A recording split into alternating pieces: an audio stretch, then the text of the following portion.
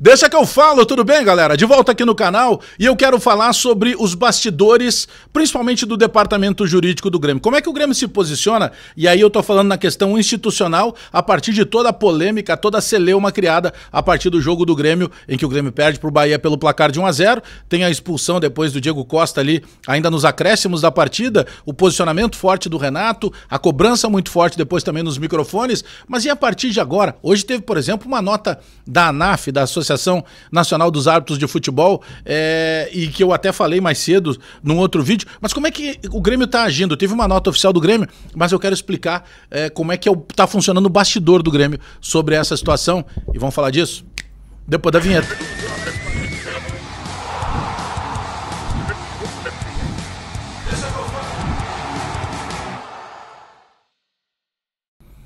Esse vídeo para KTO.com. Vai em KTO.com, faz o teu registro, usa o cupom BAGÉ, aí tu já ganha de cara 20% de bonificação de free bet já no teu primeiro depósito. Não perde tempo, lembrando que não tem aplicativo, é site para maiores de 18 anos, lá em KTO.com, onde a diversão acontece. Bom, eu vou ler aqui para vocês, tá? A nota oficial do Grêmio.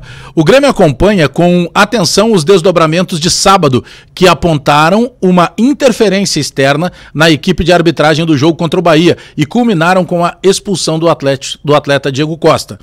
Informa ainda que, com base no artigo 74 do Código Brasileiro da Justiça Desportiva, vai ingressar com uma notícia de infração disciplinar desportiva no STJD para que os fatos sejam devidamente apurados pela Procuradoria do órgão e, após a investigação, as medidas cabíveis sejam tomadas. Bom, vou resumir o que está acontecendo aqui. É, o Grêmio entende que teve interferência do Jailson Macedo Freitas. Nós já falamos exaustivamente do sábado até hoje é, da postura da CBF, que tinha lá no seu site oficial, na figura da ficha do Jailson Macedo Freitas, ele aparecia como um assessor. É, alguns minutos depois da entrevista do técnico Renato Portaluppi, em que o Renato cobrou é, de que o Jailson Macedo Freitas estava no local que ele não devia, a CBF foi lá e alterou uh, ah, para delegado do jogo. Independentemente da posição que ele estava ocupando no jogo, ele não poderia interferir, não é a função dele ser o quarto árbitro. O delegado, ele vai controlar várias coisas, ele não tem que passar é, dicas de jogo, ninguém interfere no jogo para que fique muito claro. Sequer a equipe do VAR tem a autorização em interferir em algum protocolo que não seja aqueles estipulados já em lei. E nós já falamos exaustivamente disso. Então, o, o, o, o, trio de arbitragem principal, o quarto árbitro, o pessoal do VAR, isso é uma equipe de arbitragem. O delegado do jogo, ele não pode interferir. E o Renato afirma que o delegado do jogo que, é o, que era o Jailson Macedo Freitas, ele que avisa o quarto árbitro de que o Diego Costa uh, tinha mandado o, abre aspas, se fuder, o, o, quarto árbitro, que foi isso que foi colocado em súmula, segundo a arbitragem de futebol. Aí o que, que acontece a partir da publicação da nota da ANAF?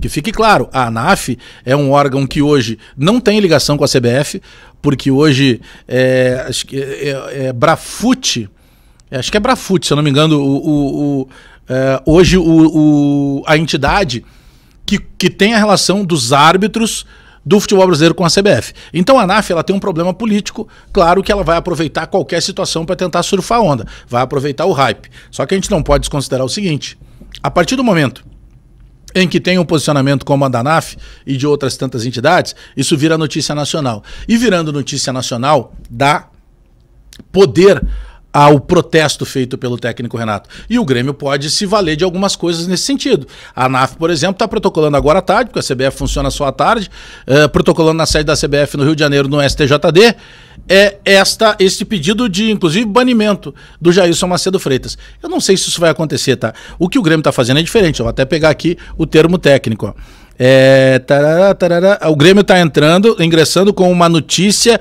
de infração disciplinar desportiva, justamente nesse foco. O Jailson Macedo Freitas não poderia ter interferido numa decisão de jogo. Se o quarto árbitro ouviu algum tipo de ofensa e ele comunica para o árbitro principal, beleza.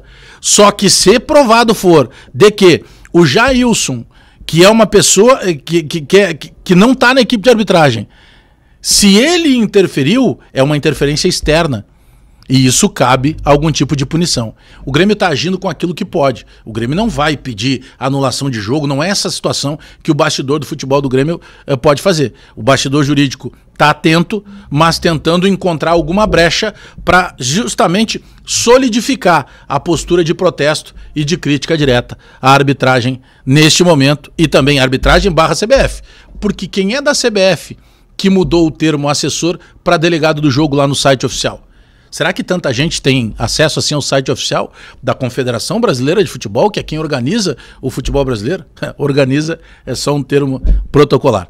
Mas eu quero saber o que, que tu pensa aí do outro lado da tela. Te inscreve no canal, dá o like, aperta o sininho para receber as notificações. Muito obrigado. Atingimos a marca, já passamos dos 150 mil inscritos aqui no canal. Te inscreve aí porque eu volto a qualquer momento com mais informações do Grêmio.